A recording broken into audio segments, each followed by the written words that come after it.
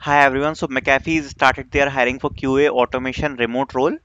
And you can see the overview of the job and about the role you can read. And about you is important section where where they are requiring you preferred bachelor's or master's degree in information or computer science with 0 to 1 year of relevant work experience so bachelor's or master in computer science is very basic kind of degrees th- they are requiring and 0 to 1 year of experience. Must have work experience with programming language like python scripting is a plus.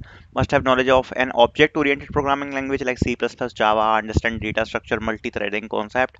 Experience or knowledge of building an automation framework is plus must have knowledge of software quality principle must good at problem solving and resolving technical issues must have excellent communication skills. So these are the requirements. Company overview we all know about mcafee. It's a fantastic company to work with.